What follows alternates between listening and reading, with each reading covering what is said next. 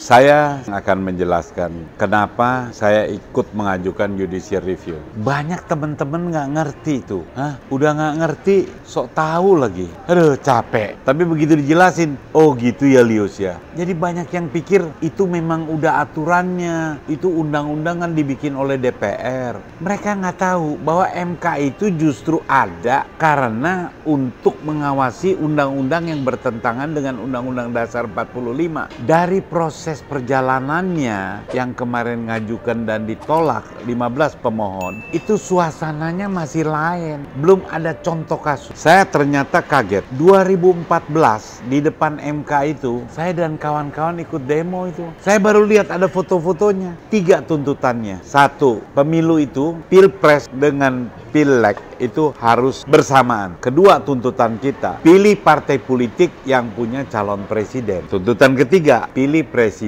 yang punya susunan kabinet. Itu tuntutan kita. Sebenarnya kenapa kita tuntut itu? Karena memang Undang-Undang Dasar 45 menyatakan partai politik dan gabungan partai politik 6A Undang-Undang Dasar 45 Partai 6A itu menyatakan partai politik atau gabungan partai politik itu mengajukan calon presiden dan wakil presiden sebelum pemilu. Itulah yang menyebabkan pada saat 2014 dikabulkan gugatan masyarakat bahwa pil Pilpres dan Pileg harus berbarengan, tapi sayang anggota DPR itu kumpul-kumpul bikin aturan yang yang mengharuskan persyaratan 20%. Itu yang menurut saya keliru. Nah, suasana sekarang ini lain. Sekarang ini yang punya suara 20% itu ada 9 partai politik yang punya suara 20% cuma PDIP, lainnya nggak ada. Maka kalau dilaksanakan Pilpres 2024 dengan undang-undang yang sama, buat apa ikut lagi? Karena tujuh partai politik ini sudah bergabung berkoalisi dengan 82 persen suara. Artinya dua oposisi ini PKS dan Demokrat cuma 18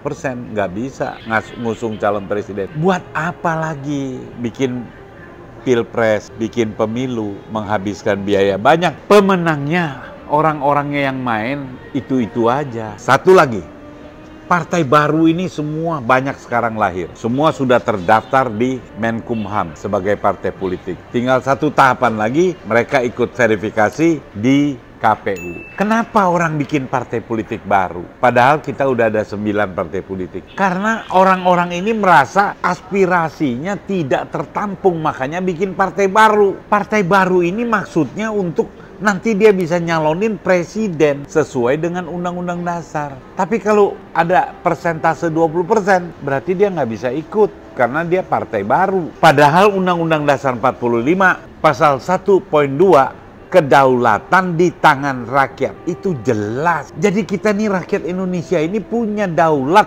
punya kekuasaan untuk menentukan nasib ke depan bangsa ini. Jadi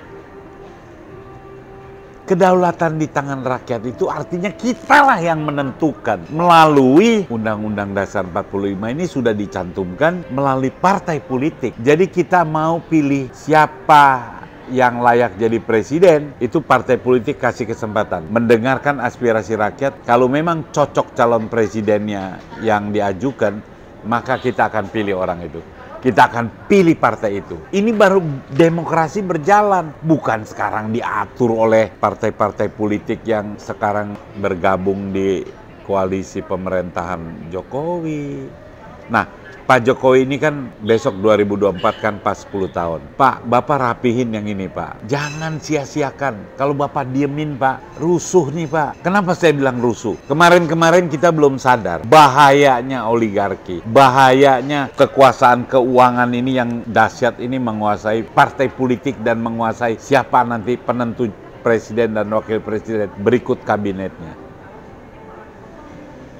Jangan Pak, jangan tinggalkan legacy Bapak justru tidak mampu merapikan fondasi perpolitikan. Fondasi di mana Undang-Undang Dasar 45 diabaikan. Saya punya keyakinan hakim konstitusi kali ini akan berpikir ulang kalau menolak pengajuan presiden threshold ini tidak boleh dibatasi. Itu nggak bisa ditawar 0%, 50%, 10%. Nggak bisa.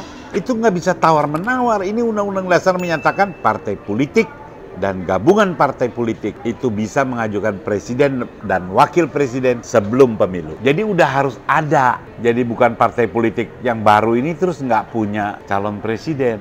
Itu keliru dan melanggar. Saya kira semua harus berjuang, rakyat harus mengerti. Kalau nggak ngerti, saya bikin lagi nih video. Karena banyak teman yang setelah ketemu kita ceritain, Oh begitu Lius, gue baru tahu. Makanya kesadaran berpolitik ini bukan ngomel-ngomel di medsos, ngatain kadrun, ngatain Taliban, ngatain cebong. Bukan itu, pelajari. Saya dari nggak tahu, saya pelajari, tanya teman-teman, minta bantu teman-teman. Akhirnya ngerti juga. Bisa juga saya ngajukan judicial review, walaupun sampai malam-malam tuh, sampai pagi-pagi mata baca-baca. Tapi waktu sidang oke okay juga juga tuh. Terima kasih. Mari kita bersatu demi merah putih, demi NKRI harga mati Indonesia maju.